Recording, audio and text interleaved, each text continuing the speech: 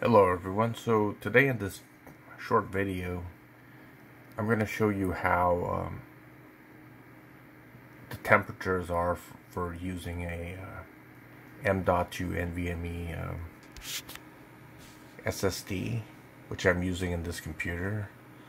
So I'm going to be using Crystal Mark Disk Info to see what the temperature is for my um,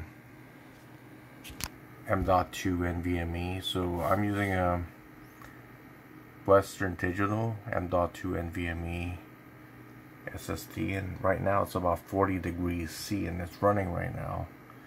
I'm running a YouTube uh, video and the other drives they're just standard mechanical hard drives so they're Western Digital 1 terabyte blue hard drives so they're running at about 27 degrees C and the other one is running at 30 degrees C.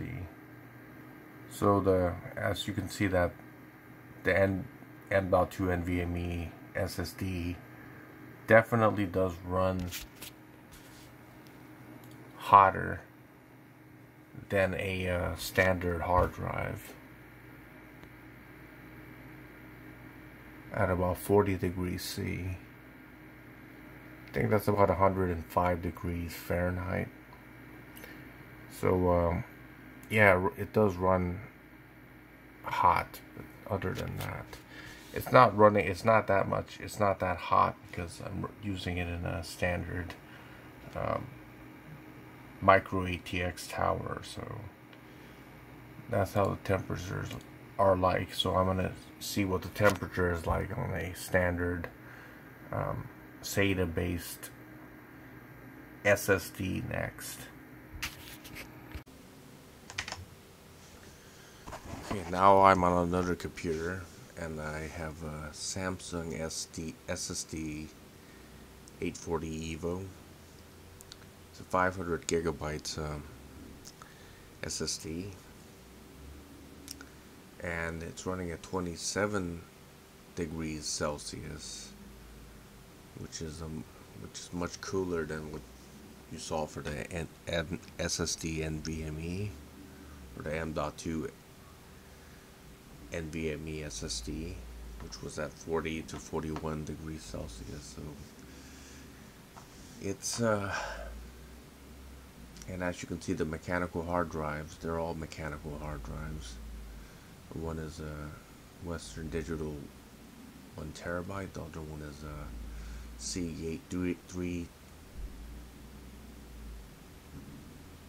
terabyte hard drive. And this one is another Western Digital um, blue one terabyte.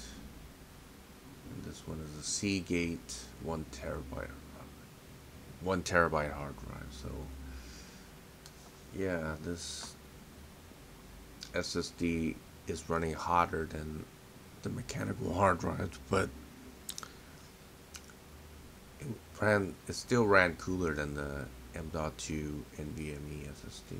So that's the point that I'm getting across here is that uh, the SSDs run hotter than standard hard drives. Okay. So thanks for watching. My Ace 1000KS 1975 signing out.